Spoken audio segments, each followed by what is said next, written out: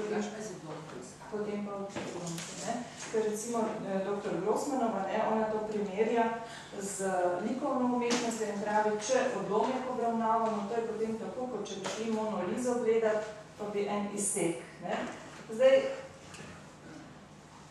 mislim, da no, jaz sem rav, ravno zato sem danes tudi odlomek, lahko bi kakšno krajše besedilo eh, pripravila, ne, zato da vidimo, ali se na odlomku te stvari tudi dajo urediti. Zdaj, eh, dejavnosti učitelja in učencev pred, med in po branju literarnega besedila, to nas nekako ta schema uh, navaja k temu, ne, torej kaj počne učitelj in kaj počnejo učenci pred branjem. Zdaj imate tam, mislim, vzorec oziroma na preglednico in tu si lahko potem te stvari notri upisujemo. Eh, pred branjem se učitelj pripravi na branje. Ne?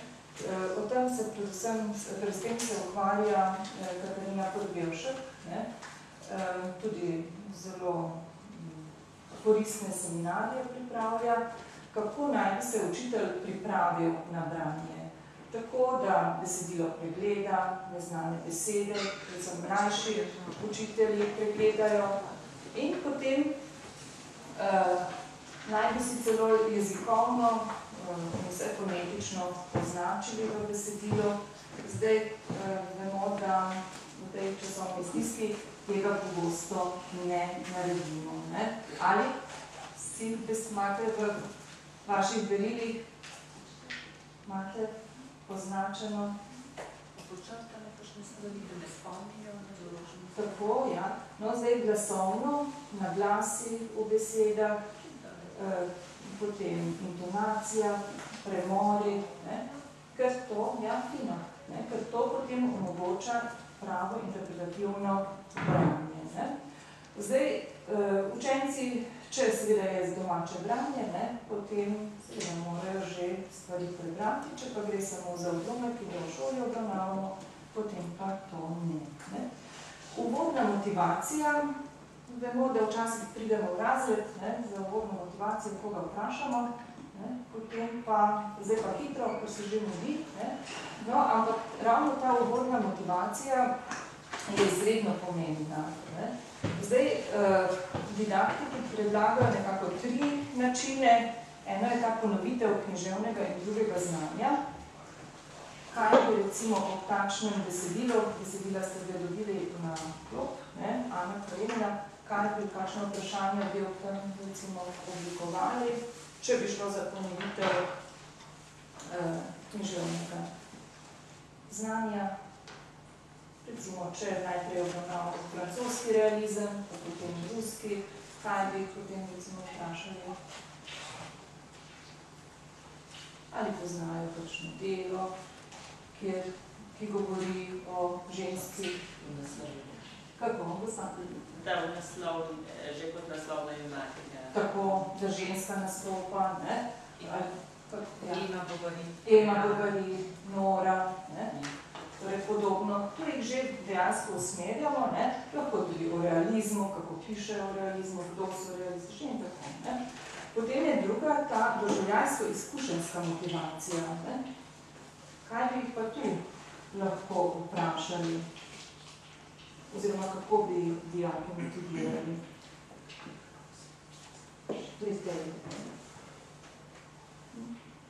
To je aktualna zadeva, no zdaj vi še težko, ker še odlomka nismo prebrali. Ne? Večne so bogate ženske na podviških stolih, čez ljudi. Ja, Je to podnačino, čisto vsak dan drugače vprašaš. Ja, tako, ne. Ali pa recimo, ne, kako je danes, ker tu pa že potem na problem odlomka eh, navajamo, ne, kako je danes urejena pravica staršev do otrok po ločitvi. Ne. Tu se potem lahko razgovorijo. Ne. Ali pa, ne, tu je spet odprta možnost. Naslednja je doživljajsko izkušenska, eh, pardon, domišljijska eh, torej motivacija kjer lahko malo na višjo stopnjo gremo in povemo o, kakšnem, o kakšni oceni, o kakšnem komentarju in jih potem vprašamo, kaj pričakujejo po takšni oceni recimo Dostojevski je v tem svojem romanu zapisal, to je izraženo izjemno globoko in celovito v ogromni psihološke raziskavi človeške duše in realistični umetniški upodobitvi, kakršne doslej pri nas še ni bilo. No in potem vprašamo, kakšno besedilo ob tem pričakujete? Ne? Kaj pričakujete? Ne? Kaj mislite, kaj bi lahko odgovorili? Ob tem moram res povedati, da učitelj zelo težko uh, oceni, kako dijaki sprejemajo literarno besedilo vnaprej. Ne? Torej, dijakove mentalne predstavitve literarnega besedila so za učitelja neznamka, ker racijo še pozna, ne pozna pa teh življenjskih izkušenj, kakšne življenjske izkušnje ima dijak, da bo potem dojel to besedilo v njegovi eh, pojavnosti. No, sledi potem napoved besedila, umestitev, napoved besedila, ne, seveda z imenom in primkom, Leo Nikolajevič Tolstoj in pa potem umestitev, če gre za odlomek. Ne.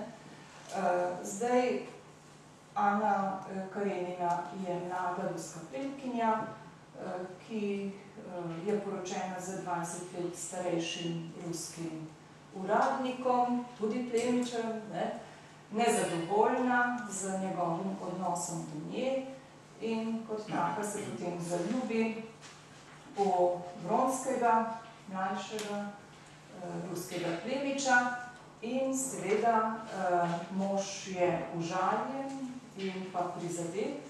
Ona se odpravi na potovanje, mož ji prepove stike s sinom. In tu je potem zdaj ta odlomek. Uh, in uh, sledi potem branje. Zdaj, eh, branje, eh, zapisala sem interpretativno bere učitelj. Zdaj, tu bi res vprašala, kako berete po razredu. Dijaki, proza. Dijaki. Dramatiko in v dialogu. Dia, aha. Poezijo, zlasti starejše. Učitelj. Pa učitelj. Uh -huh. Kaj pa ostali? Kako? Ker gre za metodične izkušnje. Ne? Zdaj, Katarina Podbevšek pravi, da je to najslavnejši trenutek v učni uri, ker se dijakom odpira nov svet. Ne? In potem tudi poda, mislim, da v doktorski dizertaciji, poda navodila, kako učitelj naj bere. Pravi, torej čisto konkretna navodila, učitelj naj torej bere učitelj, ali posnetek se posluša, ne, ker tu gre za interpretativno branje, ta prvi stik dijakov oziroma učencev z besedilom. Uh, učitelj stoji, uh, zbrano bere, ne prekinja branja, potem ne hodi med branjem. Skratka, nič ne sme motiti takrat tega slavnega trenutka, ko gre za branje.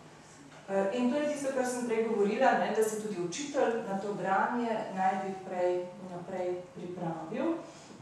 E, in e, tudi ne opozarja nemirnih učencev. Ne, in če je to branje tako, potem se tudi učenci počasi umirijo.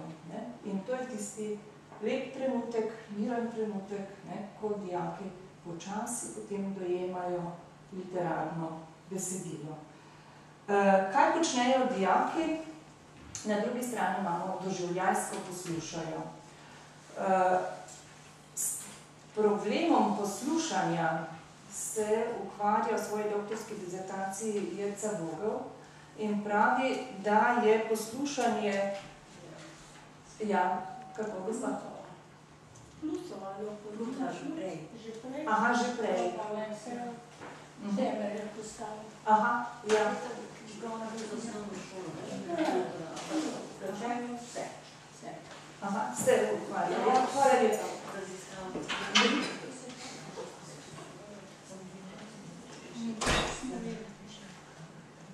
Ja, kar povejte, ker je delavnica, ne? Ja, ne se je gospa Kozinčeva, jaz vem, da je tudi novo izdala, zdaj, sam mislim, da je zelo Na misiji. Aha, da je da je poslušanje nagrajeno. Še treba pogledati, no, nismo še tako novo. Kaj je nove? Aha, kaj je novega pri poslušanju? ne? Mislim, pri Plutovi. Vsekakor je pa to področje ne, poslušanja eh, tudi eden izmed ciljev pouka slovenščine, ne, vzgoja za poslušanje. Mi vemo, kako eh, se poslušamo, ne, eh, od spoštovanja sogovorca do vrednotenja vrednotnih idej in eh, tudi eh, neopadanje v besedo.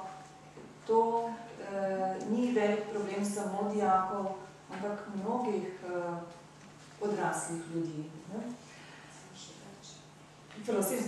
Večji problem odraslih Ja, zdaj učencev, oni itak sedijo v klopeh ne? in če ne posluša, ne? ob branju mislim, ker pozneje ni zaželjeno, da bi tiho sedel, ne? Eh, potem eh, je opozorjen. Ne? Eh, bolj v sami komunikaciji med eh, dijaki, ne? kasneje, ko izmenjujejo mnenja ne? eh, in usklajujejo ta svoje mnenja. Ne? No, to je to interpretivno branje. Zdaj, če imamo čas, eh, potem bi jaz to prebrala. Ali bi se kdo izmed vas ujunačil in prebral besedilo, ker bomo ob tem besedilu kasneje delali. Bom dobro? lahko to pomagamo, če želiš. Ja, aha, ja, tu nekje je osnalo besedilo. Vem, kako je simpatično, če ni odziva, ne? Ja, ja, no, vse, vse jaz tudi lahko, ne, preberem, ne. No, pa se podajmo, e, ja, tako, ne, zdaj pri Rosandiču, Rosandič recimo priporoča, da to prvo branje, e, da dijaki ne, niti ne bi gledali v besedilo, da se enostavno sprostijo in potem poslušajo, ne, da se jim pač ta, ta miselni svet odpira, ne. E, drugo branje, šele drugo branje je potem predvideno za eh, branje dijakov. ne. Zdaj, eh, kakšne so vaše izkušnje? Čas. Ne mogoče. Tako? Ja. Še recimo, če pisar bere, oni imajo tiste pripomočke svoje za vrstanje, ne, sem hitro spozabljam, da sem bil učbeniki pogledal v drugo Jaz že ponavadi, ponavadi že vnaprej rečem ali pa napišem ali pa imam takole, kaj, ne- na kaj naj bodo pozorni. Že, žal pri prvem branju tako, ker vidimo to izkoristek, ker drugače veliko mimo. Aha. Ali pa da prekineš pa določen del že nadziraš, da greš naprej, ker Pri prozi lahko, jaz tudi prekinjam pri ja, prozi. priprozni. Pri liriki ne moreš prekinjati. Mhm. No, različno. pač. Ja, samo je potem vprašanje, koliko potem posegamo, ne, ko jih usmerjamo za kanto schemo, ne, koliko dejansko posegamo potem v njihovo dojemanje. Ja, verjetno. V da njihovo ne. dojemanje. Najboljša je tista varianta, da naročiš prejšnjič, naj preberejo odlomek, Mhm. potem greš z drug portem in dejansko to drugo branje, ko imaš čas, boš mogel. Res. Mhm. Če to samo. Da pridejo pripravljeni. ne. Ja, vsi tega tako in tako da naredijo, vseeno je vsaj en del.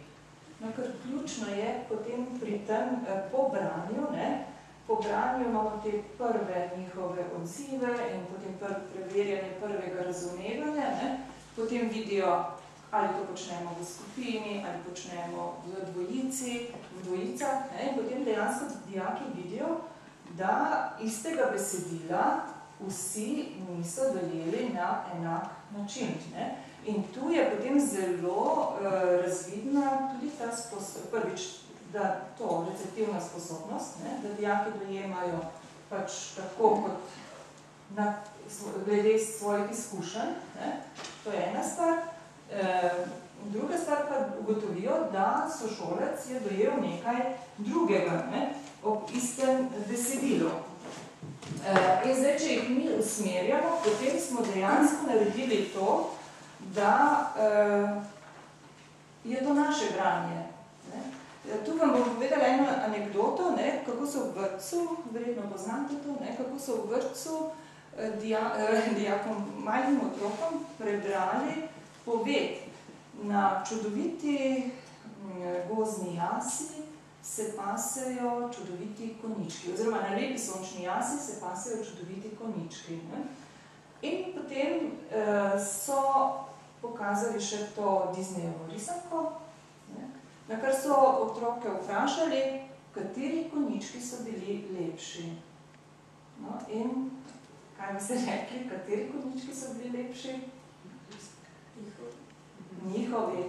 Ker je bila tu, tu še ne gre za to Disneyevsko, uh, kaj, kako bi rekli, produkcijo, ne? Tri, tri, štiri, pet let, kako?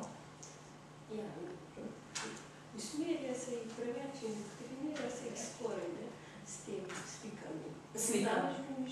Seveda, to je mož samo pripovedati. To je to, kar sem prej uh, pokazala, ne? Tole, ne? ne? Triletni otrok si ustvarja podobo. Ne? On je tudi razočaran. On je razočaran, ko nekaj, nekaj stvar ni. In literatura ima prazna mesta. Ima prazna mesta in tu je, to je tudi cilj. Ne?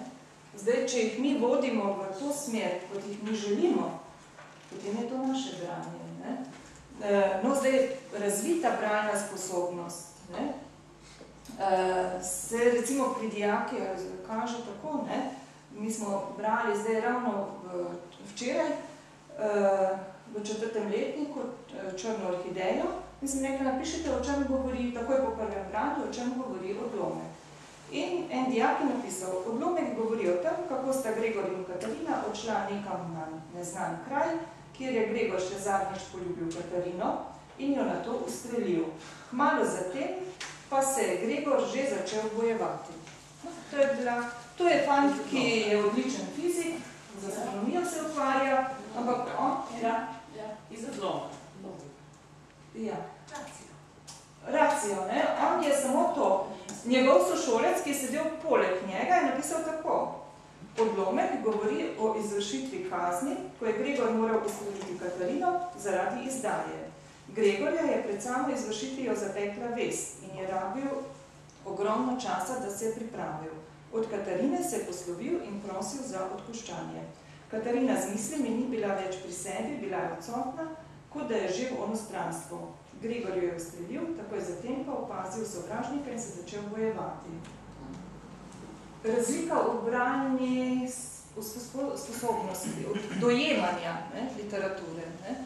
Zdaj, tu sem samo ta dva fanta izpostavila. Ne. In zdaj, ko oni to v razredu preberejo, ta je videl, da je ta ob istem besedilu dojel nekaj drugega.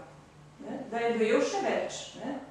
In potem še drugi preberejo in potem dobijo občutek ne, za tisto, kjer pa potem nastopi učitelj in to je potem drugo branje, ko eh, učence začne usmerjati v prezrte sestavine besedila. Ne. Uh, od tu naprej, ne, po dr v drugem branju. Ne. Zdaj, seveda, kot ste rekli, čas. Ne. Ja. No, zdaj bi pa mi prebrali ta, to besedilo. Uh, Lev Nikolajevič Tolstoj. Med branjem. Ana Karenina, Ana obišče sina. Serjoža, je šepnila Ana in neslišno stopila k njemu. Medtem, ko je bila ločena od njega, od njega, še posebno v zadnjem času, ko je ljubezen do njega nenehno naraščala v njej, si ga je predstavljala kot štiriletnega fantka. Takrat ga je najbolj ljubila. Zdaj pa niti ni bil več tak, kot ga je videla zadnji krat. Še manj je bil podoben štiriletnemu fantku, še bolj je zrasel in skušal. Moj Bog, kako suh je njegov obraz, kako kratke lase ima in kako dolge roke. Kako se je spremenil, odkar ga je zapustila. Toda to je bil on, svojo obliko glave, svojimi usnicami, svojim mehkim vrakom in širokimi ranicami. Serjoža je ponovila tik nad njegovim ušesom. Spet se je oprl na komolec, še vas omotičen obrnil glavo na eno in na drugo stran, kot da kaj išče in odprl oči. Tiho in vprašajoče je nekaj trenutkov gledal mamo, ki je negibno stala pred njim, Nato se je nenadoma blaženo nasmehnil, spet zaprl krmežljave oči in se zvalil, to da ne nazaj, ampak k njih, k njenim rokam. Serjoža, otrok, otrok moj dragi, je spregovorila s težkim dihom in z rokami objemala njegove mehke telo. Mama, je spregovoril in se premikal pod njenimi rokami, da bi se jih dotaknil sta največ deli telesa. Zaspano, še vedno zaprtimi očmi se je smehljal, izpustil rok postelje in z mehkimi ročicami prijel mamo za ramo. Se stisnil k njej, da sta jo obdala tisti prijetni von in toplota, kakršna veje samo od otrok in se začel z obrazom nežno treti ob njih vrat in ramo. Vedel sem, je rekel, ko je odpiral oči. Danes je moj rojstni dan. Vedel sem, da boš prišla. Takoj bom stal. In medtem, ko je govoril, je že spet zaspal. Ana ga je željno opazovala. Videla je, kako je zrasel in kako se je spremenil v njene odsotnosti. Prepoznavala je in ni prepoznavala njegove gole, zdaj tako dolge noge, da so silile izpod oteje, prepoznavala je ta skujšana lica, te pristrižene, kratke kodre v zatilniku, kamor ga je tako pogosto poljubljala. Otipavala ga je, pa govoriti ni mogla. Solze so jo dušile. Zakaj pa jokaš, mama? je vprašal Serjoža, ki ste med tem že popolnoma prebrali. Mama, zakaj jokaš? jo skliknil z jokavim glasom. Jaz se ne bom jokala, od veselja jokam.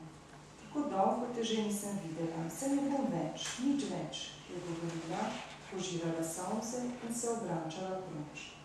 No, čas je, da se odrečeš, je rekla, ko se je uspelo obvladati. Molče, ne da bi spustila njegovo roko, je sedla zraven postelje na stol, na katerem je bila pripravljena njegova obleka. Kako pa se oblačiš brez mene? Kako? Je hotela začeti sproščen in vesel pogovor, a ga ni zmogla. Spet se obrnila proč. Nič več se ne umivam z mrzlo vodo. Očka je rekel, da se mi ni treba. Vasilija Lukiča še nisi videla, vsak čas bo prišel. O, kam si sedla? Na mojo obleko. In Serjoža je hranil smeh. Pogledala ga je in se nasmehnila. Mamica, dušica zlata moja, je vzkliknil. Se spet vrgal k njih in jo objemal, kot da se šele zdaj, ko je videl njen nasmeh, do dobro zavedel, kaj se je zgodilo. Tega ti ni treba, je rekel in je snel klobuk z glave. In ko da je brez klobuka vnovič zagledal, jo je spet začel poljubljati. Kaj pa si mislil, da je z menoj? Se nisi mislil, da sem umrla? Tega nisem nikoli verjel. Nisi verjel, moj dragi? Vedel sem, vedel sem, je ponavljal svoj priljubljeni izrek. Prijel jo je za roko, s katero ga je božala po laseh, si jo zgrnil pritisnil k usnicam in jo začel poljubljati. Varuška pride opozoriti Ano, da bo Karenin vsak čas prišel pogledat sina. Gospa, draga moja, je rekla varuška, stopila k Ani, ter ji začela poljubljati roke in rame. Joj, kakšno veselje je Bog poslal našemu slavljenčku. Nič se niste spremenili. Oh, varuška moja, ljuba moja, nisem vedela, da živite tu, v hiši, je rekla Ana, ki se je za hip zavedela. Saj ne živim v hiši, pri hčeri živim. Samo voščit sem prišla, Ana Arkadnjeva, moja ljubljena. Varuška je nenadoma zajokala, ter ji spet začela poljubljati roko. S jočimi očmi in nasmehom se je Serjoža držal s eno roko mame, z drugo varuške, ter cepetal z zalitimi, golimi nožicami po preprogi. Ob nežnosti, ki jo je ljubljena varuška izkazovala mamici, je bil od sreče ves iz sebe. Veš, mama, varuška pride pogosto k meni in kadar pride, je začel, a je umolknil, ko je videl, da je ta mami nekaj šepnila in da se je na maminem obrazu pokazalo nekaj strahu in sramu podobnega, nekaj, kar se je tako razhajalo z njegovo predstavo o mami. Stopila je k njemu. Milimo, je rekla. Z Bogom ni mogla reči, toda izraz njenega obraza je to govoril In Serjoža je razumel. Mili, mili moj Bobek, je rekla. Tako ga je klicala, ko je bil še majhen. Se me ne boš pozabil. Ti. Naprej ni mogla govoriti. Koliko besed je prišlo potem na misel, ki, bom, ki bi mu jih lahko rekla, a zdaj ni znala nič povedati in tudi mogla ni. Toda se Joža je razumel vse, kar mu je hotela povedati. Razumel je, da je nesrečna in da ga ima rada. Razumel je celo tisto, kar je še petala varuška. Slišal je besede vsako jutro ob devetih in vedel, da govorita o očetu in da se mama ne sme srečati z njim. To je razumel, samo nečesa ni mogel razumeti. Zakaj sta se pokazala na njenem obrazu strah in sram? Nič ni kriva, a se ga vendar boji in se nečesa sramuje. Hotel je vprašati in razjasniti ta dvom, a je čutil, da tega ne sme. Videl je, da trpi in bilo mu je hudo za njo. Molče se je stisnil k njej in zašepetal. Ne hodi še, se še ne pride tako. Mama ga je odmaknila, odmaknila od sebe, da bi videla, ali res misli, kar govori, in v preplašenem izrazu njegovega obraza prebrala ne samo to, da govori o očetu, ampak celo, da jo nekako sprašuje, kaj naj misli o njem. Serjoža, moj dragi, je rekla, imej ga rad, boljši je in plemenitejši od mene in jaz sem kriva pred njim. Kadar odrasteš, boš to razumel. Boljšega od tebe ni, je zapil vas obupan skozi solze, jo prijel za rame in jo začel stiskati k sebi, da so mu roke drhtele od napora. Dušica, mali moj, je spregovorila Ana in zajokala prav tako nebobljeno, otroško, kako je jokal on. Medtem ko so se odprla vrata in v sobo je vstopil, medtem so se odprla vrata in v sobo je vstopil Vasilij Ljukič. Iza drugih vrat je bilo slišati korake. Varuška je prestrašeno šepnila. Prihaja in podala Ani klobuk. Sedluža se je spustil na posteljo in zahtel. Obraz si je zakril z rokami. Ana mu je odstranila roke z oči, še enkrat poljubila njegov mokri obraz in naglo odšla proti vratom. Aleksej Aleksandrovič je prihajal nasproti. Ko jo je zagledal, je obstal in sklonil glavo. Čeprav je malo predtem govorila, da je boljši in plemenitejši od nje, je ob bežnem pogledu nam, na njegovo postavo, za vsemi podrobnostmi, začutila do njega sovraštvo in jezo in nevoščljivost zaradi sina. Z naglim gibom je spustila tančico, pospešila korak in skoraj stekla iz sobe. Igrač, ki jih je prejšnji dan s kolikšno ljubeznijo in žalostjo izbirala v prodajalni, ni otegnila niti razviti in jih je prinesla domov, kot so bile kupljene.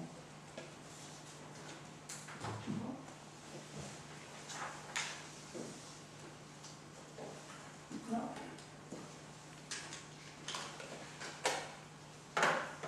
Zdaj bi šli naprej, to je bil zdaj ta premor, čisto kratek, ne, po branju, ko uh, učitelj opazuje učence in vzdušje v razredu po premoru. Ne, takrat. Ta premor je izredno pomemben, ker učitelj dejansko aha, dobi potem občutek, ali je besedilo bilo učencem všeč, kakšne čustva je vzbudilo, predvsem na tej čustveni ravni ne, je odziv. Ne. In jaz sem videla zdaj na vaših obrazih čustveni odziv. Ne. Uh, torej, učenci urejajo vtise po branju. Ne. No, kaj zdaj? Potem sledi izražanje doživeti. Ne? Ko je ta čustven premor? To ponavadi pozabimo. Ne? Se zgodi, pozabimo premor, da bi videli, kaj se je v podijakih učencih nabralo. No, izražanje doživeti. Vi imate zdaj na vaših listih prazno. Ne? Kaj bi dejansko dijake vprašali, učence vprašali ob tem?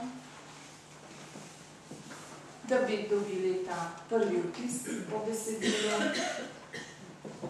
Jaz bi samo nekaj vprašala. Ja. A, da se prebere samo enkrat in meni premalo. A, Zanima, kaj ostalo mislite. Eno branje, to gre za težko besedilo, ne? Ja, ja. Ja, to je prvi vtis o besedilu. Ne? Prvo branje je prvi vtis, zdaj sledi drugo branje. To je prvi, prvi vtis, ne? kakšen se vam je zdel odlomek. Ne? Ja? No, kar povejte, ja, mogoče je to... Že povedala, jaz žal ne morem, časovno se mi ne spilje. Mhm. Drugo Bi branje. bilo pa res v redu skupaj. Mhm. Tako, To je dolgo odlomek. Če ja. so zanimivo Dobro, do, mislim, če govorimo zdaj o realni situaciji. Ja, ja. Da oni niso Ane Karenine, pa da ne razumejo, kaj to pomeni. Ne?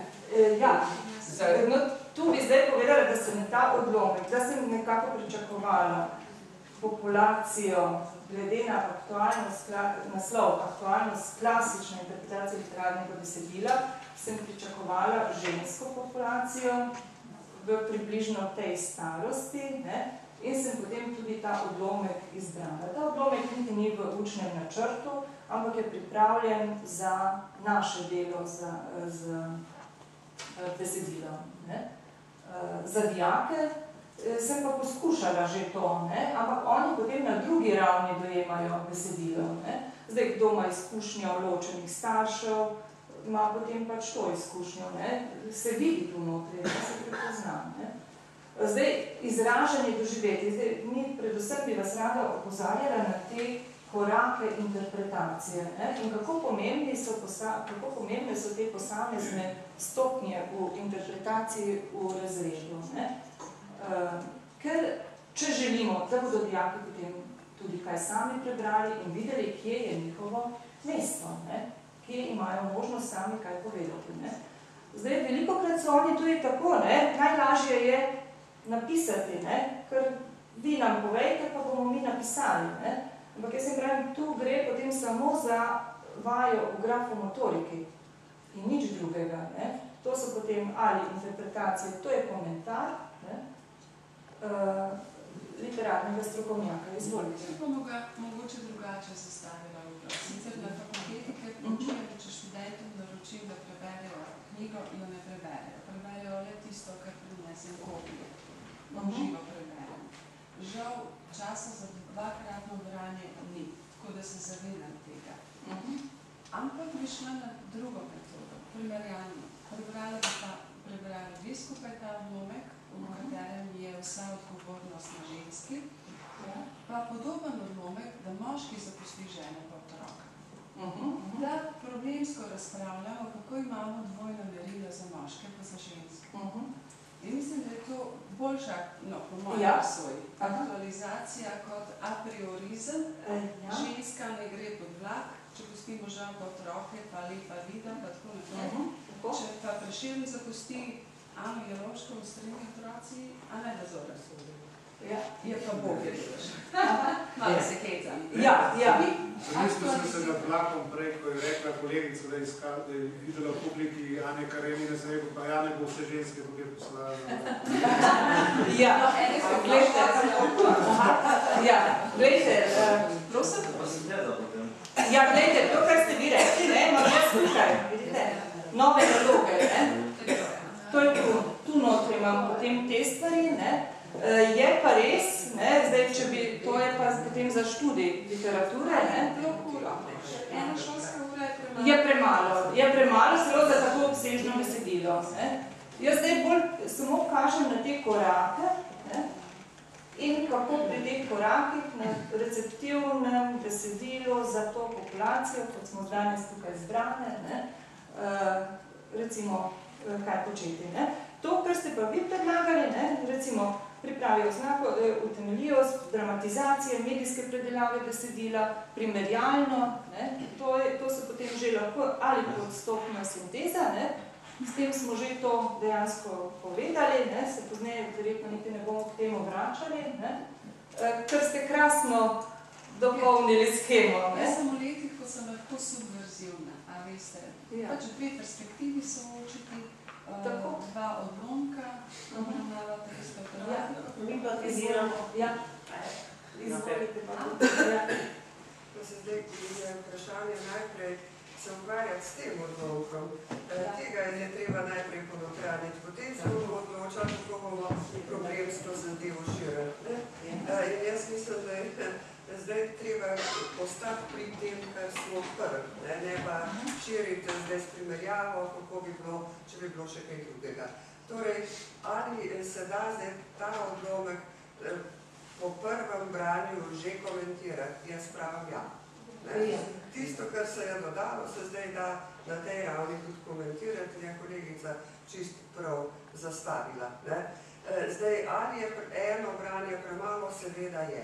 Praviloma se odlomek ali besedilo, ki se bere eh, pri šolski interpretaciji, bere večkrat, vendar se bere različno. Zdaj smo prebrali na glas, interpretativno in zdaj bomo obravnavali tisto, oziroma eh, zdaj bomo govorili o tisti stvari, ki jo imamo zdaj pred seboj. Potem bomo pa nadaljevali z drugim branjem, branjem po kosih, po, em, po posameznih segmentih in govorili naprej. Torej, tako. Ni samo eno branje, nikdar ni samo eno branje. Samo mi eh, tisto drugo več ne smatramo za branje. Je tako kot drugo. Pa tudi lahko dijak bere, ne, da se lahko kaj zapisuje, popolnoma da bere, razmišlja in a, da se lahko poglobi sam. Tako, To je ne. Ja. No, ampak mi smo zdaj na tej stopni, ne, če izpeljamo te korake, ne, kako so oni besedilo, oziroma kako ste besedilo doživeli, kaj jih vprašati takrat. Ne, eh, recimo, kakšen se vam je zdel odlomek, kaj vas je presenetilo, kje se je pisatelj posebej odlikoval, ne, o čem govori odlomek. No, ravno in zdaj pri tem, o čem Kaj govori. je pa Ana zdaj doživljala, kaj kaj Ja. vidite? Ne? Ja. Ja, to. Ali pa tudi serioža, ne, ker zdaj, če to v razredu beremo, oni se potem bolj v, z otrokom, ne, ne z ž- ženske, vse se ne morejo z žensko. Jaz to vprašanje, če sem mislila res tako odlomek z dvema problemoma istočasno. Kako so ta zelo različne probleme, ne? Dve, dve, Ja. Najprej otrok in potem je ona, ne? Mislim, res v eni uri bi se bi odločili za oba problema. Ali samo za enega. Verjetno odlomek je do seriože. Kako en otrok to doživlja? Ker če bi jaz to dolgo prebrala, moj otrok bi rekel, kaj že? Ne, zgubil koncentracijo, kako bi, tukaj sta pa dva resna problema. Jaz mislim, da je v, v, v osnovi predolgo. No, gospa, mogoče je tu še več kot dva resna problema. Ampak recimo, da, In to je to. osnovno, da jo oni recimo, Ja. jaz mislim, da bi ta dva prepoznala. Aha, ja, to bi zdaj, jaz ne prepoznala. vem, ne, mi simuliramo to razred, ali kaj mi zdaj analiziramo. Vsaj en problem se še kaže. no, Ja, še, še, In to je to, kar recimo eh, mi potem učimo, ne? kar oni potem po prvem branju imajo odziv, ne? jaz sem dojel samo tole, moj sošolec je dojel tole, tisti tretji je dojel pa še, pa še tisto. In zdaj popoln in funkcija pouka književnosti je pa ravno to, da oni dejansko vidijo, jaz sem zdaj na tej stopnji, ne? Uh, moj sošolec je že tukaj, ne? Uh, učitelj pa točno ve, kam naj bi dijaka pripeljal. Prosim. Ne vem, če se s tem strinjam, eh, kar ste omenili glede oživljanja. Ne vem, kakšne izkušnje imate, no, verjetno že ste dlje v tem, ampak eh, jaz mislim pa, da se eh, lažje eh, dijako, zlasti dijakinja recimo eh, z Ano, eh, posebi sicer za dveh stvari. Prvič, ker je pač glavna oseba, eh, imenuje se tu knjiga in to že takoj napelje, drugič pa zato, ker ravno v nekih letih, ko, eh, ko začne potem zelo čustveno te ljubezenske probleme tako dojemati, mislim, tako zelo prek svoje izkušnje. Kaj je? Ne kaj kar, Različno. Ne je odprto za vse mogoče identifikacije. Po različnih trenutnih Po različnih. branju, To je- kakorkoli. Ja. To je bilo fino. Izvolite, gospa. Ja. Jaz bi dala po takem področju, ker čustveno zelo na- nabit, Mhm. a, bi dala na hitro, brez pravopisnih in teh jezikovnih a, Aha. a, zahtev, napisati, kaj so začutili. In tista primerjava je še vedno tista. Recimo, da nekdo nekoga prebere. Jaz sem čas to delala. Drugo je, a, ta odlomek je gnobli od pravice ženske in tega. Ta odlomek je prenosljiv na vse odnose med ljudmi. Naj bo ni tukaj le samo to dvoje, kar je simbolno za, za mladostnika ali otroka, to je doživetje, ampak ta odlomek jaz tudi razumem, če se jim vidite, to je, zato je Tolstoj. In če mi omejimo, recimo, uvodna motivacija, pravica staršev Ja. do otroka, smo omejili na neke aktualne, trenutne, mogoče zelo problematično usmerjene. Jaz bi šla globlje v Tolstoja razumeti življenje tako. In to vse po prvem branju. Vi bi to prebrali v razredu in vse to bi dobili In bilo pa zanimivo, enkrat priti v razred, pa to videti v praksi. Jaz bi to... Ne, ker tukaj- vse, pri nekaterih, ne. Ja, izvolite, ja. Mi smo takšne dijake imeli. Ne, meni se zdi zelo zanimivo na to, kar je potem Andraš eh, nekako upozoril, ne, ampak izhajam iz uh, Milene. Ne. Milena je predlagala, da bi dali še kontrastno besedilo, ne, ki bi prikazalo, kako pač moški zapusti uh, zakon. Ne. Mogoče uh, avtorice, ne vem, lahko, ampak ne, recimo, da bi pa tisto besedilo napisala ženska, ni, ni, ni nujno. No, Zanimivo je, da je to napisal uh, moški. Ne. Ampak ti, Milena, si izhajala iz tega, iz tvoje recepcije, hočem pa reči te, odlomek v bistvu sam omogoča problemski pristop, ne da bi imeli dodatnega besedila. Zakaj? Ker ti si razumela, kot da obsoja uh, avtorjevo gledišče, ne? se pravi pisateljevo, tukaj je žensko. Jaz sem razumel, da se ti tako brala. Ne? Ona s tistim sramom, ne, ki ga čuti, ker je zapustila zakon, ampak jaz kot bralec, ne, ko sem še prej, jaz sem že bral takoj, ne, ko sem se doživel čisto na tej prvinski ravni, sem videl tam, ne, in, eh, zdaj verjetno smo bralci različni. Jaz sem videl tam Vronskega, ki prihaja in ona beži pred njim, Vronskega kot pošast, ki ne pusti ženi, da bi prišla do otroka. Karenina, Karenina. Karenina. Ja, ja, vse, vse, ja. Ne, Vronski dobilec. Ja, Karenina, ne, ja. ki ne pusti ženi, da bi prišla do otroka. Tako sem jaz bral ta odlom. In domnevam, da ga dijaki lahko berejo na oba načina in imamo problemski pristop. Pa še mnogo širše, ne? ker to je ravno čar literature. Ne? Literatura je zelo odprta zadeva. Ne? In zdaj, kako hitro mi, vse tako kot ste rekli, jaz sem zato dala tri možnosti, vsaj tri variante motivacije. Ne? Kako hitro bi jaz to, kar ste vi opozorili, rekla, sem jih usmerila na en segment besedila. Besedilo je pa mnogoplastno ne? in ponuja številne interpretacije. Ne? In to, kar ste vi zdaj rekli, ne? to je ravno v tej drugi točki. Ne, ne samo uh, razum, ne? zrelost bralca z določenimi izkušnjami, ne? to je potrebno. Ja, uh, no to je pri teh, ne? ali pa potem recimo, mogoče bi res ta bila, ne? zdaj la, lažje mogoče izbereti, katera motivacija bi bila glede takšnega besedila, najprimernejša. Ne? Ali mogoče ta eh, Dostojevsk, oznaka Dostojevskega, ne? Eh, da pač psihološka raziskava človeške duše ne? in odklanjaš. Uh, ja, no, zdaj tu je za učitelja res pomembno, da uh, to učenčevo doživetje literarnega besedila zelo dobro uh, spozna. Ne? In da je to, to je nepredvidljivo. Tega mi ne moremo predvideti, ne? katere segmente besedila bo eh, dijak spoznal. Ne? In pa predvsem to možnosti, da besedilo ponuja številne možnosti. No, in potem sledi to razčlenevanje besedila. Ko smo mi dojeli, na kateri stopni dejansko dijak razume besedilo. Šele potem začnemo, se ta, začne ta proces odkrivanja neopaženih elementov besedila. Ne? Koliko teh elementov besedila, torej dijakom pokažemo, gledajte še to, pa še to, pa še to, pa še to je besedilo. Ne? Tu jih pa potem usmerjamo z vprašanji, ne, ko smo videli njihovo prvo branje. Ne, kaj vse je možno tu uh, delati o odnosu. Ne. Nič še nismo povedali, dejansko je tu zelo lepo prikazan ta odnos uh, Serjoža in mama. Ne.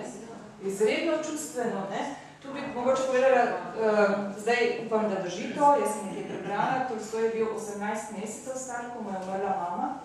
In še pri 70 letih je rekel, da je vse življenje prepenel po maminem objemu. Ne? In kako je zdaj on to opisal ta odnos, ne, kako je predstavil ta odnos, ne, kako, no in potem tu se potem eh, način predstavitve oseb, ne, pripovedovalec, mesto pripovedovalca, dejansko pripovedovalčevo stališče do literarne osebe. Uh, in pa, ali bi bilo enako, če ne bi bilo tega dialoga. Ne? Zdaj, če mi to tudi že potem naslov začnemo opozarjati, ne? poglejte, ne? koliko krat mama opozori, da sem to namerno dala v stavke, Serjoža, Serjoža, Serjoža, ne? dušica moja, ne? mamica, ne? to je izredno čustveno toplo. Ne? Uh, mislim, da morajo videti, ne? Ja. Uh, no, k sintezi in vrednotenju je že kolegica prej uh, uh, dr. Blažičeva prispevala, ne? mogoče še kaj o tem. Ne? Jaz sem sicer si predstavljala, da bomo mi zdaj malo več uh, počeli, da bomo več uh, izmenjali teh vprašanj, možnosti interpretacij, ampak uh, mislim, da smo tudi vsi kaj. Ja, izvolite. Hotela sem se že prej, da se ne navezuje na to, da je tako intimno, natančno in res osebno branje, branje teh besedil, ko gre do enkrat, drugič in tudi jaz zmeraj poskrbim za to, da celostno besedilo v razredu preberemo, čeprav so včasih zelo vsečna besedila. In potem tudi ti primerjalni deli, ker so namirno tako narejeni, takrat se vidi tudi zrelost poučevanja literature od prvega letnika naprej in jasno tudi že vse skozi sporejam pa ni nujno, da je to v eni uri, ampak pa se spomnite, kako je bilo tam in takrat in delajo in vse skozi primerjalno delajo, ne glede na to, da nekateri teoretiki pravijo, da se ne sme imenovati primerjalna naloga v drugem letniku gimnazije še. To dejansko vse skozi primerjamo, koli si pisno ali ustno in seveda to natančno, poglobljeno branje eh, je pa to maturitetno in recimo tam izdelek esejski, pa ni nujno, da samo esejski, bi lahko rekli tudi eh, branje primerjalno je že velik del tega učenja ali pa spoznavanja literature, pogovarjanja z literaturo, ker tle ne vidite, da so vsi zrasli, pa dozoreli celo tisti, ki so včasih med branjem kaj drugega delali in so krasni v četrtem letniku. In to je tista prava pot, ki jih pelješ, ima pelješ nekaterega prej, drugega kasneje, vsak druge probleme vidi in potem, ko se dopolnjujejo, mene včasih celo prosijo, če imam to srečo, da imam dve paralelki, a preberete še iz unga razreda tist, ne? In nosim, in če bi lesbo ravnažal, bi tudi dejala to dva razreda usporedno, ker tako plemenitiš lahko druge. In seveda, ko oni berejo, ampak takoj tukaj pa ne moreš enega odlomka dati, ker bo pa drugačna perspektiva, ker učni načrt gre neusmiljeno naprej, pa imamo to, to, to, da prideš do 140, za vso slovnico, za vse mi posedili. Ne, pa mešaš ti, ne, se ja, mešaš ti. bogat odlomek, ja. tudi ne moreš, to, ste, ker tako reče z nekom. Bodimo temeljiti Ja. pri eni stvari. Ja. Ne? Če se, se odpirajo stvari, v sintezi pa potem lahko se doda še kakšen nov problem, če seveda presodimo, da je tako. Drugač pa od spisa do eseja je knjiga, ki, jo, ki Ja. ravno to, kar vi prepovedujete, priporoča. Da se gre eh, postopoma, že o vsaki interpretaciji v reči, Ja, ki k eseju. Ja, recimo, da praktiki tako delamo, sem pa je pa kakšen teoretik, pravi, da se to ne sme, ne. Ja, sej ne, si, mi še zmer delamo tako. Ne, nekaj zanimivo. Recimo, da nekdo vidi noter nekaj, kar v resnici ni v tem odloku, kar ni, tega, kar ni, nekdo vidi, ne, to. Ja. In mi, greste potem, in mi gremo potem v natančno sintezo in se izkaže, da on bere čisto narobe, da nima pojma, kaj prebral. Kaj mu bomo potem dokazali? Mu bomo dokazali, da ne zna brati. Kako mislite, da bi bilo napačno? Napačno branje? Najprej on občuti, pove, kaj doživlja in kaj vidi v odlomku. Ja. Potem greš pa ti v to natančno analizo in ker je to klasika, te vodi k točno določenim temam, te ne vodi kar tako po vesolju, ne neke smeri. Točno določeno, to, to, to, to. Ko greš ti potem po natančni sintezi, nimaš več možnosti toliko odgovorov, ne? Se odgovori v resnici zožijo. Kaj potem, recimo, rečeš dijaku? Da ne zna brati. Ne, ne, to pa absolutno ne. To pa absolutno. On, on samo, uh, on ima vso pravico brati kot bere. ampak v, v besedilu mora znati dokazati, zakaj bere tako, kot bere. Bes- Z besedilnimi elementi potem dokaže. Če bi on zdaj recimo bral tu, da je odnos, recimo kot ste vi, to bi šlo, da je odnos med mamo in sinom tu skrajno neprimeren, ne, ali pa da sta skregana, ne, to bi recimo bila taka, kot bi bilo mimo branje verjetno, ne, kje v besedilu si ti to videl, da je to takšen odnos. Še ena sama nežnost. ne. E, Ja, jaz vidim tu eno samo nežnost, niti mu tega ne bi povedala, da jaz vidim nežnost, ampak kako si ti videl v besedilu, kje, iz katerih besed, iz katerih reakcij ti sklepaš, da je tu uh, pač uh, god odnos. Ali da mama nima rada sina. ne? Prosim? Ne, ne, ne, ne, on bi samo, se on mora dokazovati svoje trditve z elementi iz besedila. Potem zakaj pa ne obratno pot, zakaj ne pol vso sintezo in na koncu potem izpeljejo doživetje? Tudi lahko se ga, na drugi ravni, ne? Ja, višje, ne? Ja.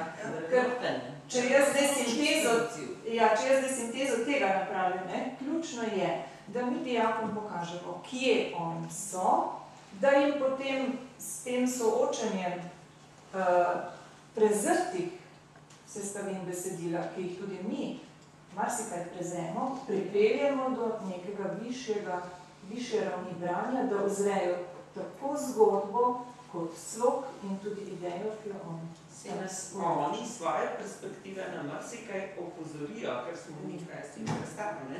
Ja, seveda, stvari seveda. naredimo v tistem trenutku, ne. Ima tudi drugačno Ja, in je krasno, da nam to odprejo tudi. Vse po Ja, izvolite. mojem skromnem mnenju eh, je, eh, je to v bistvu manjši problem eh, od recimo tiste kritične mase, no, ki preprosto eh, se niti ne poglobi in, eh, in nekako je interpelirana v to vlogo, da kje ima bodi si profesor interpretacije ali pa tistemu, kar recimo lahko iz učbenika eh, razume iz tega in eh, Dijaški pikanet. Dijaški pikanet, ja, uh, pika si. In, in potem v bistvu, tisti so pravzaprav bolj problematični od tistih, ki pridejo do čist nekih eh, x zaključkov, ker tam se vsaj zavemo, da mogoče pride do neke kolizije. Ne? Uh, tisti pa, ki, ki imajo nikoli ne veš, a so oni tudi uh, vso to prosvetljeno, privzdignjeno, poglobljeno dojeli, ali so ali ja, ali so, Ja. ja. Zdaj, zato je pa izredno pomembno, kaj mi pri urah delamo. Ne? Ali delamo pač po teh več ali manj intenzivno po teh korakih ne? in upoštevamo njihove izkušnje, njihova mnenja. Ne? Ker če pa zdaj jaz povem, ne, ne, ne, to ni tako, to je tako, ne? potem ga zgudim. Kako pa preverjate potem branje odzive, tukaj piše, piše doživljajski spis in tako naprej. To se Če to delajo doma, potem bi se pridružila kolegu, je to lahko nevarnost. Lahko. Če to delajo doma, ne, ta spletna Aha. spletno Kopijo, ja. okolje, ki pomore k nekemu zapisu, ki je še spremljiv. Tako da tukaj je težava, Jaz verjetno ne v rečem, času tudi. Ja. Kako recimo, ja, samo to, kako recimo vse to, vse to ogromno pisanje uč, eh, dijakov tudi potem vrednotiti. Tukaj se mi zelo odpira. Ja. Potem recimo za en takšen odlomek, ki se zdi zelo solidno pripravljen in tako naprej, zdaj pa um, bralni odziv, kako da ne bi prišlo do tega, teh, teh pasti, da ne zdrkne to poučevanje v neko trivialnost potem. Mhm. Da se lahko Po koščkih odkrivamo, napiši Ja. pet povedi o tem ne, segmentu tam delu. To ja, kako preveriti to? Ja. Pre, ja, preverjamo že, eh, no zdaj recimo mogoče ste tu na ta doživljajski spis, ne? Eh, Glejte, ni treba vedno vseh spisov pobrati, ne? Ker se to potem bi bile torbe pretežke, ne? Jaz sem to poučevala veliko Ja. let in vem, da je vse tako res odpravite. Vem, se mi zdi vseeno, da nam veliko dijakov lahko ravno eh, gre v to smer, da se samo tako na Vida, pouči. ja. Meni se ne zdi nič takega, če so oni po vsem tem, ko smo se mi z njimi brali, ko so oni imeli možnost povedati, kar so mislili, ko so šli skozi besedilo drugič, ko so uh, imeli možnost uh, intenzivno sodelovati. Če so potem toliko neumni, da namesto lastnega izvirnega eh, mnenja in opisa doživetja, grejo reči eh, nad diaško.net in prepišejo vse tiste napake, je pač to njihova stvar. Bodo pač dobili slabšo oceno, zato ker bodo se poslužili tujega mnenja namesto svojega. Se se vse ni napake. Bi zdaj no dobili, ga- ampak recimo tukaj gre za uh, množične razrede, potem pridejo mature in so vse te inštrukcije, vse to. Jaz sam govorim o tem, kako je to. Ja, dok- saj pravim, da so takšne pasti, da se Ja, veliko eh, dijakov nas pač Če je učitelj naredil vse to, je svojo, svojo nalogo opravil. Jaz ne morem, mislim, zdaj naprej pa jaz. Jaz bi vendarle eh, tu dodala še to, ne, da svojim dijakom povem, kaj bi rada dosegla. Ne. Povem jim, ne, povem, zakaj se oni to učijo, zakaj mi to beremo. Ne zato, da bodo znali našteti, to tudi zahtevam. Literarno znanje morajo. Oni morajo vedeti, kaj počnejo z besedilom, znati to imenovati, to je literarna teorija, ne, ki jo morajo obvladati, ampak da vedo v funkciji, česa je to. Ne. In enako mi se zdaj veliko pogovarjamo, tako je gospod, veliko pogovarjamo z likovniki, z glasbeniki, ne? tudi oni pravijo, nimamo časa, nimamo časa, nimamo časa, to je instant življenje, ne? nimamo časa, potem pa dejansko uh, nismo naredili prav veliko, ne? če ne bomo vzgojili tega, kar smo si zastavili, ne? da pridejo na nek drugi nivo branja. Ne? Uh, izvolite. Jaz sem vzel samo na video na koncu, ampak je to smiselno vprašanje, ki se ga postavlja. Kako pa potem ti njih naučiš, da vse to, kar oni analizirajo, povejo kar mi potem vidimo, torej vse to, kar znajo brati, kako potem dosežeš, da to obesedijo. Ker reči, da je zato, ker so res dobro in analitično prebrali, razumeli, da bodo zato potem res tudi dobro obesedili, ni vedno ne, neko pravilo. In jaz mislim, da je tukaj ne, to vprašanje, ko oni potem dobijo ta spis. Vse je res, lahko ga prebiš karkoli. Ampak kako mi potem skozi iste metode branja, potem uvedemo metodo obesedovanja tega, kar si prebral. Skozi eseja. Ja, ne, ne, že, ja, ampak Zdaj iz tega odlomka, Ja. konkretno hočem iz tega odlomka iz teh vprašanj. Recimo, kako bi vi potem njim dali navodilo iz tega, kar smo dobili, kako zdaj to razkriti. Jaz bi recimo dala takšno, ne, zdaj, zdaj ste me malo presenetili. Povzemite dogodek, ali ste eh, povzemite odlomek, ali ste v odlomku koji, eh, lahko izrazili bistvo, utemeljite, kakšen, eh, kako ste doživeli Ano, kako ste doživeli Serjoža, kakšen je njun- je njun odnos, pa naslovite odlomek. Recimo, no, to so na hitro esejska, ja, ne? Ampak že tu, ko bi jim rekli, kako, gospa?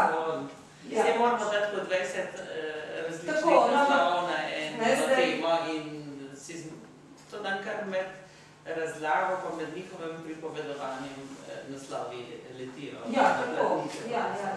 Pa to. No, ampak recimo povzemite odlomek, ali ste v odlomku lahko, v povzemku dojeli bistvo, Vi zdaj dali tu je že navodile, utemeljitev. kako vi iz tega materijala potem rečete. Zdaj pa imamo spis.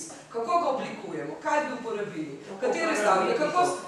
Dejansko, kako vi tehniko pisanja, kako napišeš spis iz tega, kar smo zdaj ujeli? To, Ja, veste, če imate to metodo, me zanima. Eh, Posamezni, ja, zdaj bo gospod že, no ja, samo tu bi že. rekla, bom odgovorila, ne, posamezne elemente uh, eseja vabimo od prvega letnika naprej, recimo predstavitev osebe, ne.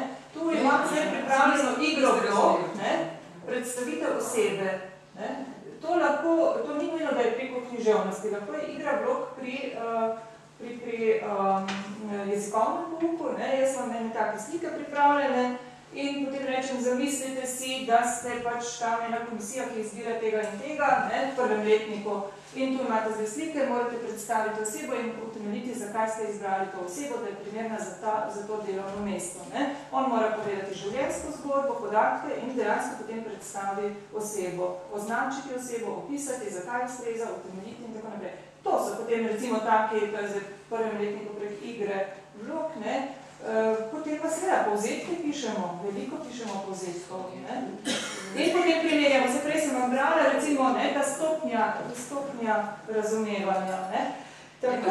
Zdaj sem 27 let in vse to počnem in Ja. še vedno na koncu naštudiraš roman dva meseca in Tako. še vedno to slabo obesedijo. Mene zanima, če imate kakšno konkretno idejo, kako gre ta korak. Ne? Ja. Ampak jaz to vse naredim. gospa, to veste, ja. Mene je zanimalo samo, če imate kakšno metodo, nič kupka. Samo Zdaj sem eno povedala. Gospa, jaz sem izredno vesela, da ste vi zdaj odprli v drugo smer, ne, ker je bistveno, dejansko ste zelo, zelo nam koristili. Ne, Vem, smo ampak jaz se samo sprašujem. ne. Ja, ja. Ker 27 let vse te metode na Um, koncu še vedno ne znajo napisati ja. 710 ur. No, zdaj bi mogoče zaključili, ne, da ne bomo predolgi, ne, eh, z Einsteine- eh, Einsteinovo mislijo. Skušamo samo, torej svojih učencev nikoli ne poučujem, ne. skušam samo pripraviti pogoje, v katerih se lahko učijo, naj nam bo to vodilo in pa potem seveda veselje do branja, koliko bomo ob tem uspešni. Tako.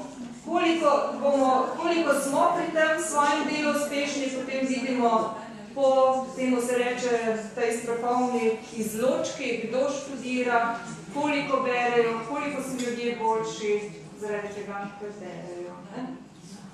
Tako. Hvala lepa.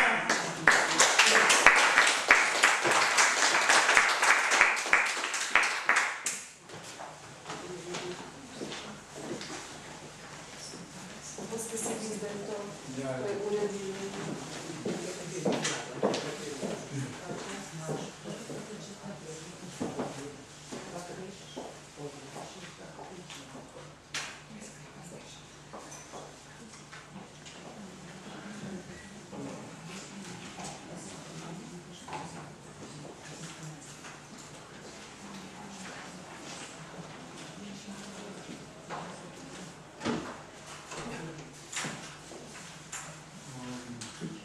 Lepo pozdravljeni. Zdravljeni. Um, a s- bi kakšno luč prižgali, ker je to delavnica, pa bi moral tudi jaz vas videti. Ne? E, Sicer ne bo možno. Najlepša hvala. Uh, torej, moja predstavitev, vse glavno poznate, samo tako, da veste pač, da delam na obeh stopnjah, na drugi in tretji. Nastavil sem si naslov delavnice srednješolsko tesno branje in prevenci bolne govorice eh, brez izrodkov, ampak s pomočjo PowerPointa, ampak v, v izrazito črno-beli obliki. ne. Jaz sem namreč pristaš tega že zelo starega spoznanja, pri branju, ravno kar smo prej omenjali, ta besedilni svet, eh, da mora biti beseda čista, ne, pomeni jasno, vidna, razločna, brez fotografij in tako naprej, ker je eh, besedilni svet tukaj. Je to neka zakonitost, tako da, dobro, tudi nisem imel časa, pa se mi dalo nekaj dodatkov, ampak je to tudi mogoče prav eh, zaresten pristop. Uh, torej, uh, po nasvetu uh, kolegice, ne, Krakarjev in nekaj ste naredili, najprej malo teoretično, potem bomo pa res praktični, boste morali pač sodelovati, ne? razmišljati, odgovarjati. Uh, brali bomo pa, ker so odlomki, pač boste prebrali sami, ne bom jaz bom bral samo vprašanje. Um, izhajam iz teze, ne, ni nujno, da se z njo strinjate, da imajo dijaki pač pogosto, ne, ne vsi, ne vedno, pogosto težave s prepoznanjem sebinskih prvih določenih odnosov med literarnim in zbiranjem poročila. Če se strinjate, morda kakšno mnenje, zakaj je temu tako? Kaj vse na to vpliva? Gotovo več dejavnikov. Površno hitro branje. Čas je skozi problem. Čas je gotovo. Učenja čas, na trgončen črt, veliko jezika, ne umetnost, gotovo. Še kaj? Vsi dijaki nimajo težav. Ne, vedno, tako, ja, razlika med dijaki. Ne, da nekateri dijaki niso ravno za tisto šolo, kamor hodijo, To. ali pa niso dovolj motivirani, je tako. Niso dovolj motivirani. Uh, še kaj mogoče, kaj pa naš pouk, je dejansko, zdaj bo kolegica Žbogarja izdala novo knjigo, mislim, da- je bila napovedana, pri slovenistični knjižnici, kjer eh, govori o problemskem pouku, kot eni od možnih rešitev, je naš pouk v slovenščini dovolj problemski ali bolj reproduktiven, pri drugih predmetih, recimo, koliko poznamo. Problemske, da naredimo sami s- ustrezno. Pri Razred, da slovenščini. gledaš pa... Pri slovenščini, kaj v Veste kaj, predmetih? preveč Ja, jih učimo, druga- preveč jim serviramo Aha. in jim niti mogoče ne damo možnosti, da bi sami No, razmišljali. recimo. Ena študija, pa mislim, da je že nekaj let stara, Milan Vodopilec, eh, je primerjal naš pa ameriški šolski sistem je ugotovil, da je 60 odstotkov eh, pri nas reproduktivnega pouka, v ZDA 30 odstotkov, eh, ravno obratno, no? ZDA ravno obratno. Ne? Spravi, da je to tudi eden dejavnikov, ne, jaz sem zastavil tri možne odgovore. Um, pa že je pouk pretežno reproduktiven, nekaj smo že rekli, da dijaki premalo berejo, je bilo že prej rečeno, ne, se pravi problem motivacije, še vedno, ne, in eh, da tudi niso navajeni na tesno branje, ne. Um, se pravi, površno berejo, ne. Uh, da niso motivirani je seveda popolnoma jasno, ne, zakaj je temu tako. Tisti, ki ko vi skušate uh, z neko politično odločitvijo spraviti v gimnazije 40 odstotkov populacije, ne, v mojih časih pa 20, pa ko grejo vsi študirati, je popolnoma logično, da motiviranost pada. Ne? In mi se znajdemo pred problemom, kako motivirati in iščemo se izmišljamo pač različne stvari, dejansko pa to problem predvsem prevelikega opisa pomaganja v srednji šoli univerze. No, omenil sem tam na koncu tesno branje, ne, se pravi, že stara metoda, znana vsaj od leta 1929, se pravi, zelo natančno branje. Besedila, eh, prav to, kar smo v bistvu tudi zdaj počeli, ne, pri tej predhodni uri, ne, se pravi, natančno branje besedila, razšljevanje besedila, posameznosti besedilo, ali se razli ta metoda ne, pri delu književnostjo v razredu učinkovita. In zakaj bi lahko bila učinkovita?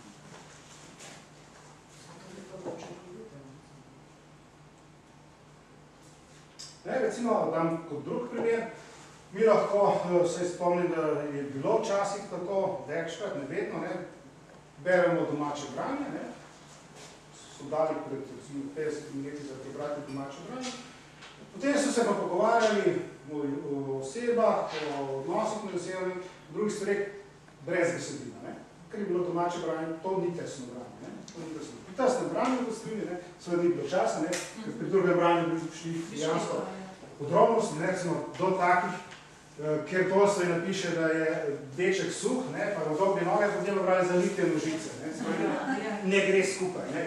To je, to je recimo primer tesnega branja, ne, tudi take stvari vsebino, ampak seveda še druge stvari.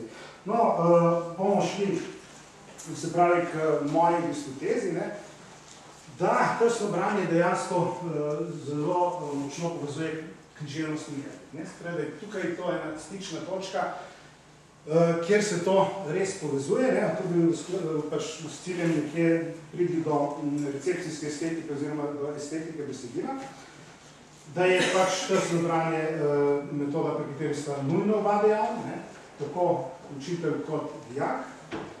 In kot sem pač že rekel, da se usmerja dijakov pozornost tudi na estetske prvine besedila, kar se mi zdi pa seveda zelo pomembno, ne, še zlasti pri pouku književnosti. No in uh, to pa smo tudi že omenjali, ne, to pa mislim, da poznamo, se pravi, v katerih primerih pravzaprav sodobna didaktika priporoča uporabo te metode, omenjali ste kolegica, ne, metodo priprave na maturitetni esej, to je, oziroma ena kolegica tukaj, metoda dolgega branja, ko praktično skoraj celotno besedilo preberemo v šoli. To je gotovo, ne, primer tesnega branja, zdaj še beremo na ta način, pri krajših besedilih, recimo Lirika. pri liriki, ne, pri poeziji, jasno, da je to tesno branje in kot poznate tudi, eh, nisem seveda ne prvi in ne edini, ne, se pravi, eh, ta metoda eh, kratkih odlomkov, ne, eh, na podlagi, ne vedno seveda, ne, ampak načeloma na podlagi domačega branja, ne, se pravi že prebranega besedila, eh, če aktualiziramo mene so skoraj napadli, ne, to se zdalo v šolstvu takrat, ko sem izdal tega priročnika, um, da so to absolutno prekratki odlomki in avtoriteta uh, Meta Grossman pravi, da so odlomki itak, ne, itak didaktično neuporabni, kratki so pa še posebej neuporabni, ampak se je lepo pokazalo, ne, Ko so nekateri rekli, da je bil to predolg odlomek, dejansko dijaku pri dolgem odlomku pade koncentracija in porabimo ogromno časa. Če ga berejo v šoli, če ga doma preberejo, drugo, ne še dolgo dobro. Skratka, metoda kratkih odlomkov na podlagi že prebranega besedila je tudi pač uporaba uh, tesnega branja, no, to imamo zdaj že tukaj napisano. Zdaj pa seveda sam naslov predavanja, ne, se pravi simbolna govorica. Sam sem že razmišljal, da bi dal metaforična govorica ali simbolna govorica, potem sem se odločil za ta pojem, ker ne gre samo metaforo pomujem bolj znotraj povedi, ne, se pravi znotraj tega, da se zdi na medtem, ko simbolna govorica je pa širše, ne, je pa marsikaj lahko simbol, ne, se pravi v tem smislu simbol kot znak, da pisatelj z nekim dogodkom, z neko osebo, s čimerkoli opozarja na nekaj drugega. Ne? Se pravi, da je zadaj skrito neko dodatno sporočilo, kar je seveda uh, neka posebnost ravno umetnostnega besedila, ne? pravi, predvsem umetnostnega besedila, potem se razlikuje od neumetnostnega. In uh, kaj misli, da imajo dijaki z razbiranjem te simbolne govorice, kamor spada tudi recimo ironija ponavadi, težave. Ne vsi imajo. Pa Ne ne samo dijaki.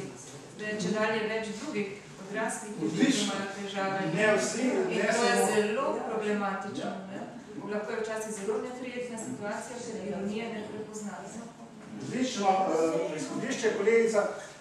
Kolega Juvan je uh, povedal, da je nek ameriški znanstvenik napisal uh, ironično besedilo znanstveno, po njegovem jasno ironijo, poslal na resno naravslov, za, na obja, uh, poslal za objavo v resni naravoslovni reviji v ZDA, in je bilo besedilo objavljeno, niso prepoznali. ironijo. Invazija. ne. Invazija. to je. Znamo. Uh, ne, ironijo včasih res težko prepoznati. Ne? Se zgodi, da niti eden dijak v razredu ne prepozna ironičnega mesta in isto velja za uh, to simbolno govorico. Zakaj bi se pa torej s tem ukvarjali? Ne? Potem lahko rečem, potem se nas s tem ne bomo ukvarjali, ker je pretežko. Ne? Jaz pa to vzamem kot izziv. Se pravi, za meni pa pomeni to, da je to še posebej dragoceno, tudi če ne bodo vsi dijaki prišli do rešitve, da se to splača. Ne? Ker jih pa na nek način, vsaj tiste, ki so pa bolj ambiciozni, ne? pa, jih pa motiviraš, ne? ker je to v bistvu problem. Ne? No in uh, zdaj smo že, uh, spravi, najprej imam en primer, mislim, da je Ljubljani, ki se razgleda, ne? ko sem bil sam pravzaprav začuden, kako je do tega prišel, oziroma se mi je nekako razkrilo, kakšno je stanje poznavanja besednega, besedišča besednega zaklada, o teh, te smo tudi teh dveh že kar nekaj slišali, da je problem besedni zaklad, no in sem tak primer, tako kot sem ga pravzaprav doživel sam v šoli, ne, dal kot izhodišče, potem imam pa nekaj odlomkov s primeri simbolne govorice, kjer boste pa sami potem skušali najti odgovore, torej vsi poznamo, tudi učni načrtu na gimnaziji, um, poslovna novela na KIT, katero je možno sporočilo v poslovno novelo. Najbolj ni prišlo.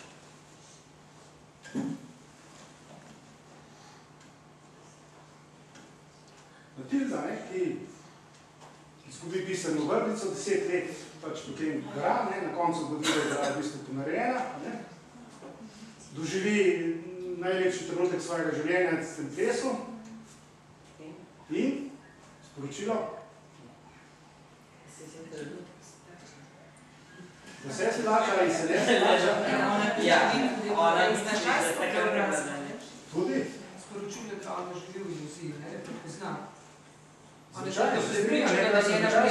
zares ne. je, da dema. ne. Prej je krepenela, ne, biti druga, druga, živeti drugače, ne, kot tema govori, potem pa deset let ona. Ja, se strinjam. ne, se pravi, To so možna sporočila. No, sej jih je verjetno še več, hitimo, ker, ker pač eh, nas čas omejuje.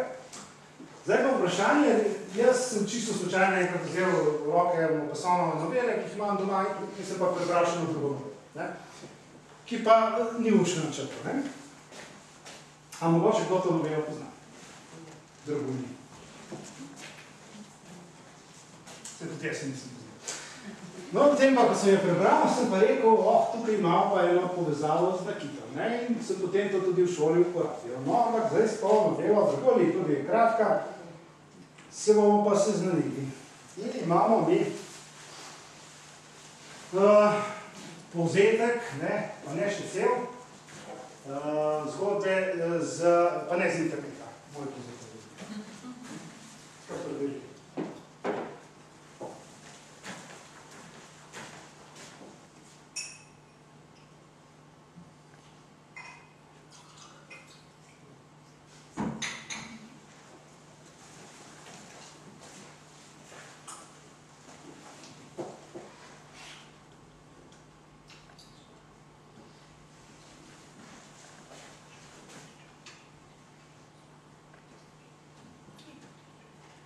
Smo prebrali in naprej. So kakšne podobnosti z novelo na kit?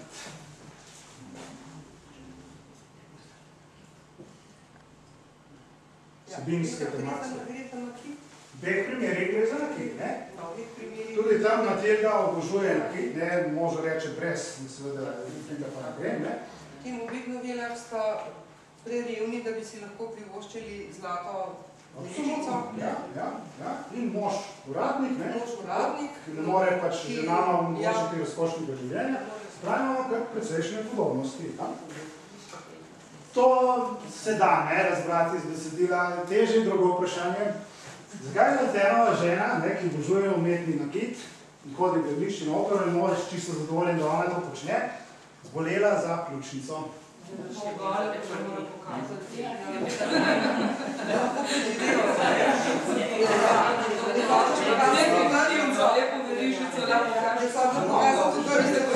Kolediča se ima, je blizu, ni pa to še vroče. Ne? Torej, ne, dobro, tam so res ženske na to vole, ampak ampak potem pa oblečejo plašč, ne, to je ena znakita. Ja, se tudi, če imaš plašč oblečen, če tle ni zakrito. Aha, dobro. Čisto zdravstveno. Kaj se zgodi, zdaj imamo pa tako imenovani heuristični dialog, ker predvidevamo, kaj se bo zgodilo v nadaljevanju. Kaj se pa zgodi v nadaljevanju zgodbe? Gre.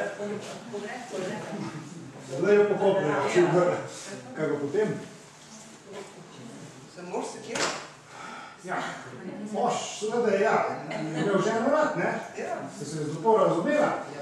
In enostavno je samo ponarejen nakit, ne? Prav, kakšne dediščine ne bo, ne? Kaj pa, če, če je izkušnja iz novele nakit, da, da je pa mogoče s tem nakitom kaj narobe? A je nujno, da je ta nakit uh, bižuterija? Ja, bi pisalo, je. Kaj pa če pristan? A če pristan nakit, potem on se spominja žene, ko proda to v drgoljarni, pa dobi lepe denarce. Lepem spominu, ne? Ste kar blizu, no, gremo kar krešiti. A, ma ni bil to konc novele? Ne, A ja, Ne, ne, ne. Ne, ne, smisel, da je to samo za tako vulgarno. Ne, ne, to, to ne bi bila to, to samo. Ja, da ni bilo narejeno, ne? To je povratna zadeva. Obra- Ravno obratno. To so misle, da je to pravo bila pa narejena, ne? Zdaj so pomislili, da bo narejeno, je pa to Ravno, da, ne, ne, no, pa samo ni bil kartiček, ne, ni bil tako. Tako, dobro, to je malo to zdaj konec modela, ne, ampak zdaj, eh, zdaj, eh, jaz počnem z nami isto kot z dijaki, ne, spravi, dijaki so dobili tudi to obnovo, ne, tudi to obnovo, potem pa samo to obnovo, ne, niso brali modela. Uh, vprašanje, ne? Odkot na tenovi ženi pravi na Iz teh večerov. Pač tam je spoznavala bogataše, ki je za usluge recimo se dali tam kit, recimo. Še vedno je blizu debeluške, recimo, pa. Odlično, Andraž, samo eno posebej, da pravijo, da so bile to storitve. No, Drži, ker je zadnje bila plačana. Je tako, lahko. Ja, ja, ja. Ne. Nismo jo označili, ne, da je bila pač no, recimo neke vrste kurtizana, no, če tako re, ampak so. Ne, Dobro. Služila je, to posluha. Tako, se razumemo, krasno. Zdaj pa vprašam, a pisatelj pojasni, kako je žena prišla do dragocenosti? Ne, vidite, to je pa mojstrstvo pisatelja. Ne pojasni, to je, to je šara, ne, da da mora bralec najde, vidite, to je genialnost, ne, se ne pove, ne. Iz, iz dijaka je to lahko problem, ker ne pove, ne. Zdaj pa, ali dijak je pisatelj ne pojasni, ali dijaki razumejo, kaj je počela Ledinova žena? Še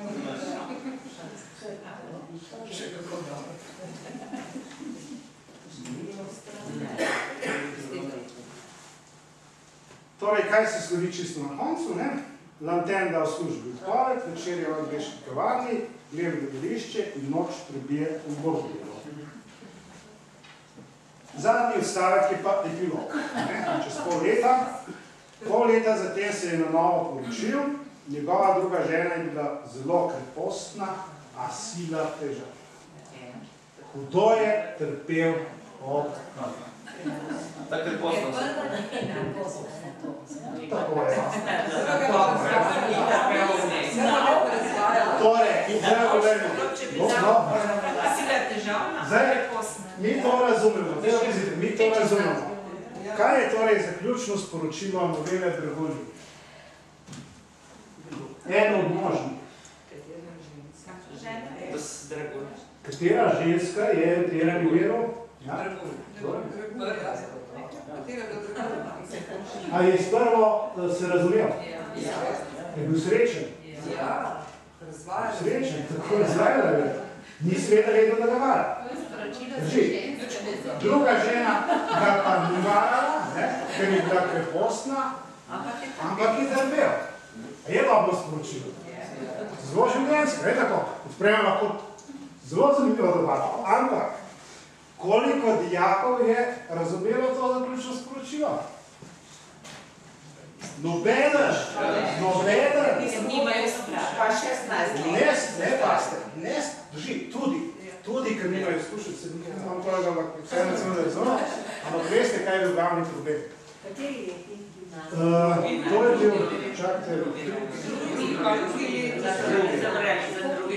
drugi, ali ne, mislim, da je tretji, tretji, nekje delamo tretji, tretji, tretji, tretji letnik, ne, niso več tako zeleni, ampak kaj se, katera beseda jim je povzročala težave, težave je to recept Niti eden dijak ni vedel, kaj pomeni beseda, kako se smeri danes primer, kaj je bilo tam moralen pa da vidite. Niti eden dijak ni vedel, kaj pomeni beseda kreposten, zato je nastal receptski šiklum, enostavno ni recepcije. Ni razumevanja besedila zaradi ene same besede. Torej je dejansko problem, da se premalo bere in da je pomanjkljiv besedni zakaj. In to je en primer, ampak takih primerov se v šolski praksi zelo veliko. Dobro, to je tak, uh, malo, malo lahkotnejši vod. No, zdaj pa imam, uh, mislim, da pet primerov simbolne govorice iz tuje književnosti in nekaj iz domače. To je pa zdaj bi se vse narejeno na istem modelu, odlomek pač sebuje in mi bomo najprej bo odlomek, ki bomo prebrali in potem pa so tri vprašanja. Prvi odlomek.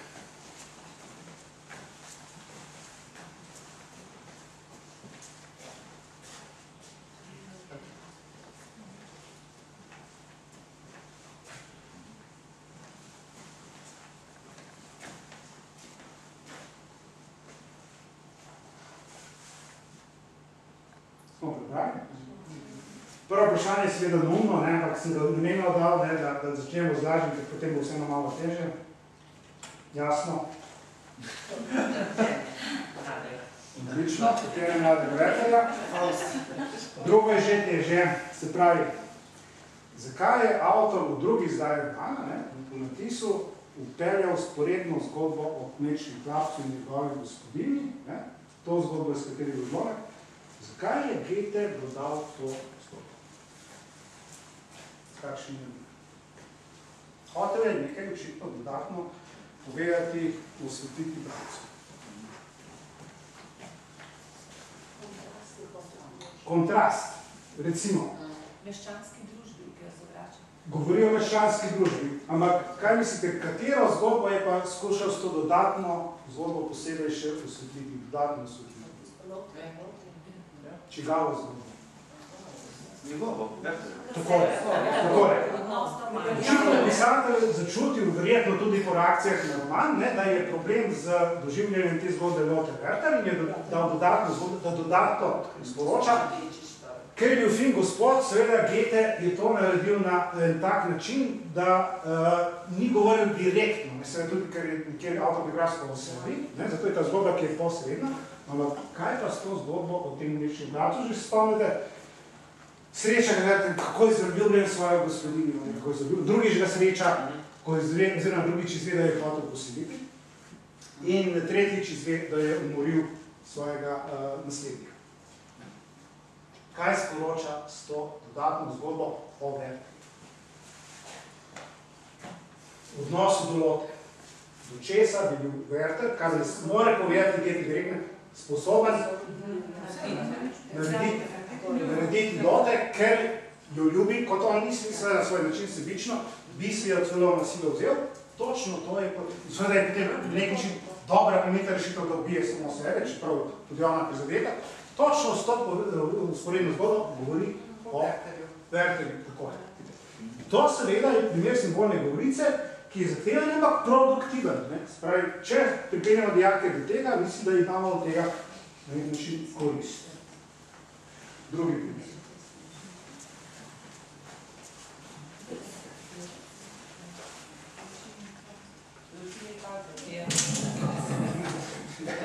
Nekaj, kar je sproti odlično, jaz seveda je zločin in kazen, ja. zelo dobro. Imamo že odgovor na prvo vprašanje. No, kar se obranje, v katerem delu zgodbe pa pisatelj vključi ta prizor? Takrat, ko ni, ni približan, ali je sposoben ubiti. Pred umorom, Ja, pred umorom.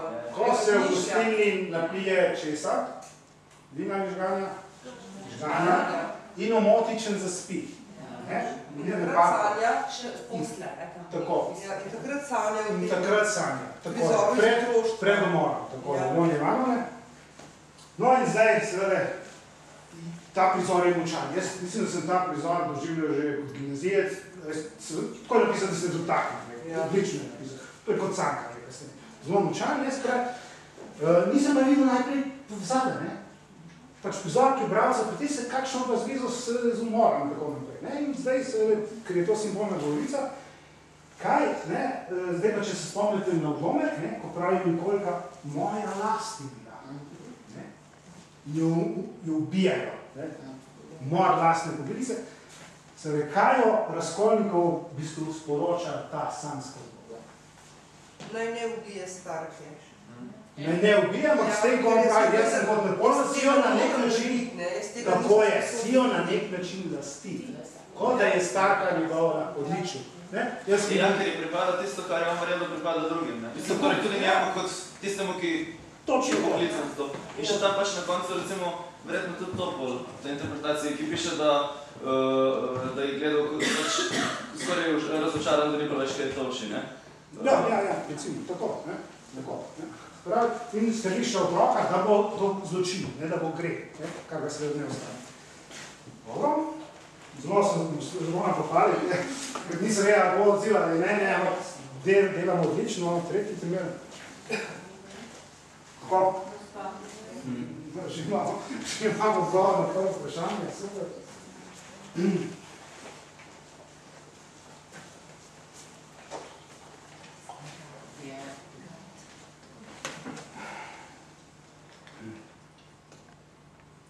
Smo pripravili? Gospa govori je seveda popolnoma jasno. Kaj se dogaja z njom? Kaj je tema brala v romanih? Torej? Kaj ima glede na čeli, ki ima pisal na tem gradu, na tem gradu v Obozarju? Da je to lahko resnično. Kaj je lahko resnično? Za tisto, kar piše v romanih, je resnično. Ja, ja, ne ja, resnično. Govorjenje, moški, ženski. Da, seveda so te ljubezenske zveze med poročenimi moškimi in ženskami, lahko ne samo tako, da imajo živa resnično. Točno to. Ne? Točno to. In kakšno sporočilo potem prinaša seveda to? Jemi? Zato ne na njene strani, mislim, kraj. Ona pač vidi, da se to dogaja in da tudi Ona to tudi ona ona to to lahko, ker ni to manj, ampak v katerih slojih seveda se to dogaja? Tako je, veš, to je prva zvija seveda Rodolf, ki je baron, tako je. To je zdaj sporočilo, no in jaz pri dijaki potem izkoristim to šest povezavo s Titanikom, če spomnite, neko prinese tam v filmu Titanik, ne, tisto sporočilo do večera, ne, 30 postopkov. Dobro, odlično.